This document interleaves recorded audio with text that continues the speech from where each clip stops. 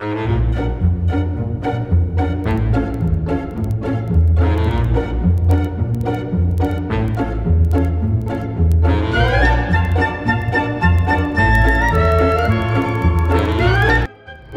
very well. We've increased the number of police officers we've had on the street, and the lowest shooting and homicide record in the last five years was the last year finale administration.